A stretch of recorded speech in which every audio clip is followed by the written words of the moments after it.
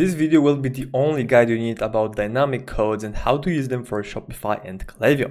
So let's get right into it. First of all, I'm also gonna cover why you even need those codes and then what is the alternative um, for them. So first of all, why you need dynamic codes. The main reason is that people can just Google your brand's name and then discount code if you are using a static code. So then they can use, you know, Google it. So let's say Ridge discount code and then you know there are multiple you know different websites where essentially you know people can scout for um, and find the you know the static codes like for example this one. So they could just then copy. Then they would go to the website you know they would click on whatever product they would add it to cart. Um, they would go to checkout they could apply it and see if it works. Yeah, it worked. So as you can see, I didn't have to sign up their email list to, to get the 10% off. I just Googled it, copied the code, which obviously is giving, you know, it's, it's assigning the affiliate sale to this website.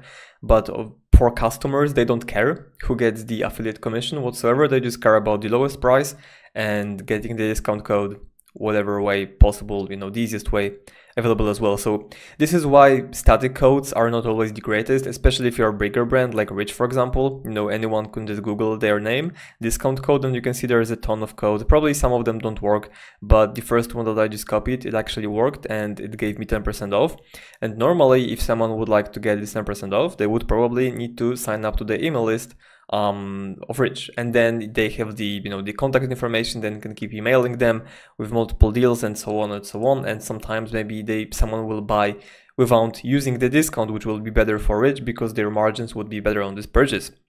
So that's why static codes are not always the greatest, and that's where dynamic coupons come in because dynamic coupons, as the name suggests, they're being dynamic for every single user, they're being unique to every single person. So you'll be wondering, okay, how do I use them? Well, you need to use Klaviyo and then you go to, um, to content, then you go to coupons, okay?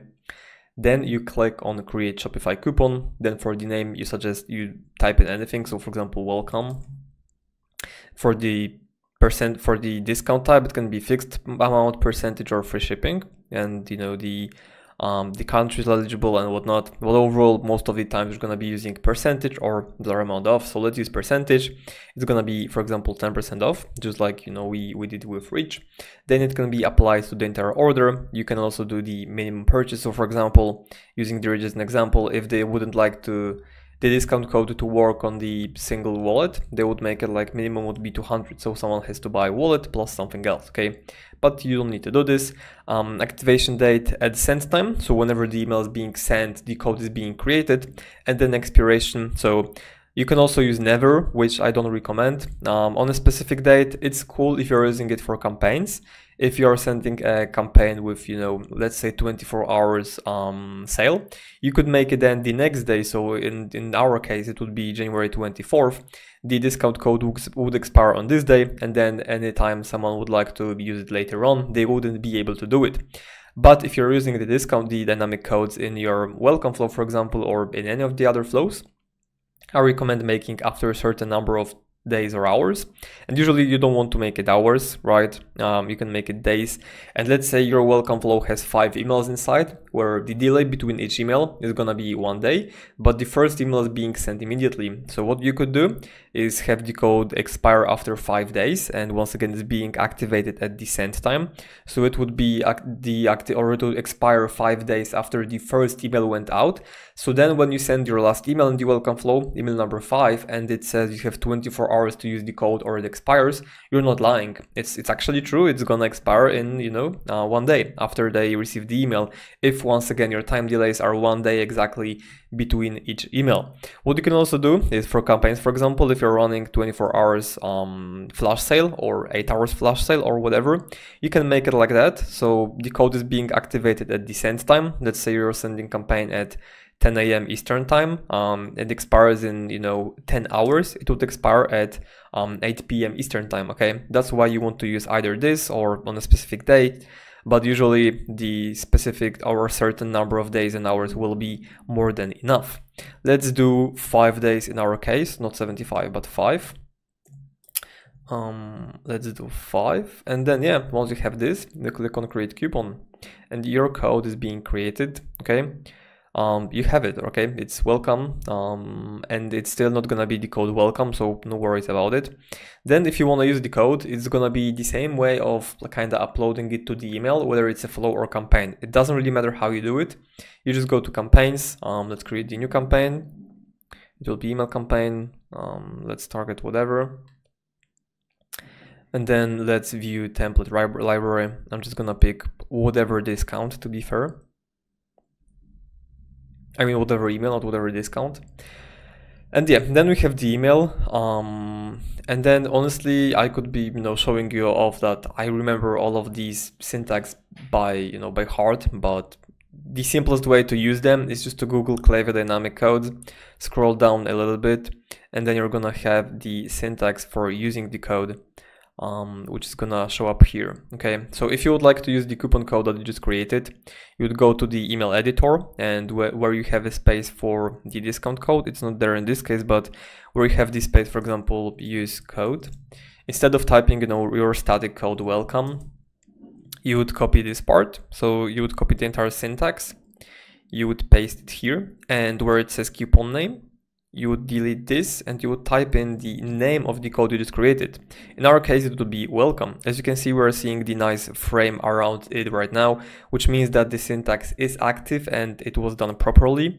And when we go to the preview, it shows us welcome um, hyphen preview, which means that the syntax worked and essentially the, when we would send this email and the user that would receive it, they would have a unique code just generated for their own. So everyone, you know, every subscriber would have different code and that's pretty much how you use it. Um, there's also a way to use it in SMS. It's the same exact way. But what you can also do is have those codes um, being auto applied with the URL. So normally when you have, you know, let's just use Origin example. Normally you would have their website and what you can do on Shopify is if you have static code, you do discount slash, um, what was the code here? Like CJL, stuff like that. I believe it was CJL. Let me just like show it as an example. It was CLJ, okay. So I'm gonna remove it for now. Um, and it will be discount CLJ. And then if you if you leave it like that and you copy or like if you would click on this, it would take you to the home page um, of Ridge, right? Like you would go here, but you can also redirect it to specific um, collections or specific product page, whatever you would like to. And then I'm also going to show you what, how it works. So right now you, you can see we have card with no discounts. We would pay $150. And let's say, you know, we would redirect it to, to this product page. So we would do this, redirect, um, and then it would be slash, okay? You would have it like that and if you click on this on this button with this you know dynamic code it should automatically apply the the discount to our card. Let's see if that happened. Yep you can see right now it's it's already applied. So you know this is how you would use the the, the dynamic or the link for the static coupon to automatically apply on shopify. This is how you would do it.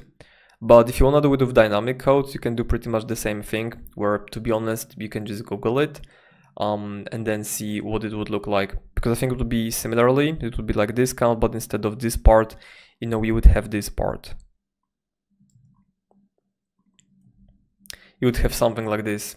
And then it would be also applied, you know, if you had the um, if you had the dynamic codes and the, if, if this email would be sent to the to the user, then they would also be able to use, you know, they wouldn't need to enter it manually because I know one of the reasons why people don't like to use those dynamic codes is because they are so long, it's so hard to memorize them.